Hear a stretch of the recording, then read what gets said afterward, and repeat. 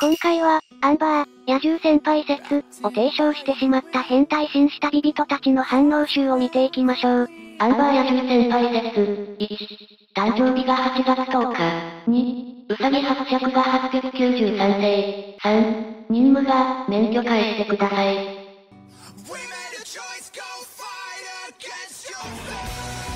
えっと、さ、はっきりわかんだね。なんだこれは。たまげたな露骨すぎますねそうだよ。皇帝。中国で10%しか知名度ない陰夢ネタ仕込まれてもね、めっちゃ知名度あってくさ。1.4億人のホモ。TDN 要素の方が多いじゃねえか。